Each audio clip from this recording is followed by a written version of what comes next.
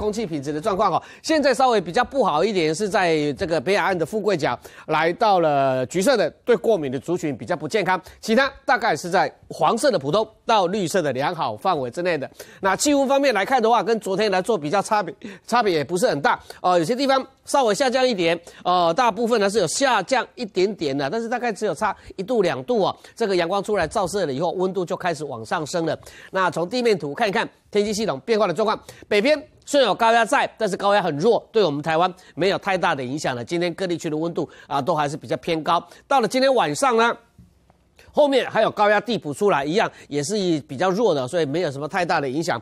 封面慢慢的在中国这个华中、华南这边开始建立起来的，但是呢，大概要等到礼拜天、礼拜一才会影响到我们台湾。最近这几天跟台湾有关系的云层哈，第一个大概就是台湾陆地自己发展起来的，像中午过后的塞巴河。第二个东边有一点水汽进来，我们从卫星云图再看一看云层发展的状况。那台湾这四周围华南这里。是有一些云层在往东的方向移动出来哦，部分的云层也进入到我们台湾哦，但是这些云层比较薄一点，云层的透光度都还不错，只不过造成了我们的云量比较多一些些而已，这影响并不大的。另外一部分呢，就是在东边的外海，因为毕竟还是有一点东北风在，有一点水汽进来，东部有可能就容易有一些短暂雨的哦。那在另外一部分的云层，就是中午以后会在山区发展出来的。那这其中呢，是中南。南部的山区可能有局部性的大雷雨，那平地方面也是差不多是在云林嘉义以南靠近山边的平地，有可能碰到这种午后阵雨哦。那我们再来从雷达看一看西边过来的这些云层，刚刚卫星云图看到西边很多云层过来，也有一些云雨区没有错，但是接近的过程当中可以明显看得出来它是在减弱的，对我们就没有太大影响。而且这些云层啊，这些水滴有可能是在高空的水滴，并不见得会下到地面，所以对我们地面没有太大影响。有影响的，我们看到东边近海这里又有云雨区在发展哦，就在沿海地区哦，有时候可能就对沿海带来一些短暂雨。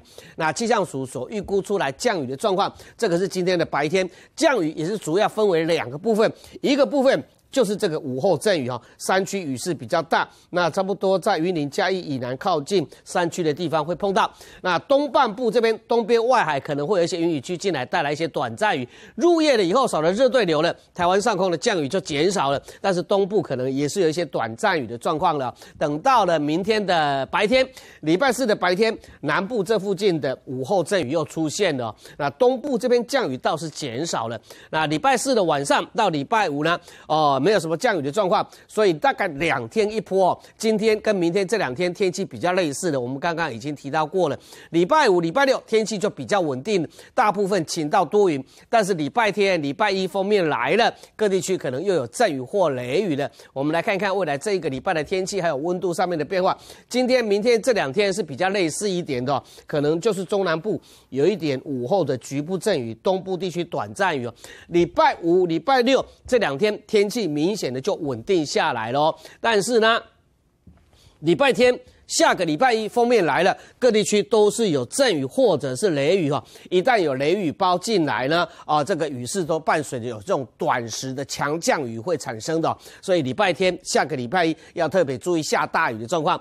下个礼拜二封面是离开了，但北部、东部还是有短暂雨，而且下个礼拜二纵使有空档的话，呃，这个空档可能没有办法持续一整天，因为后面可能还会有华南云系陆陆续续在影响到我们台湾。所以大概就是在礼拜天这边做一个分水岭。礼拜天之前，我们的天气比较稳定，降雨比较少。礼拜天以后呢，开始不稳定的，特别是下个礼拜哦，不止封面来了，在华南可能还是会有云雨区进入到我们台湾的哦。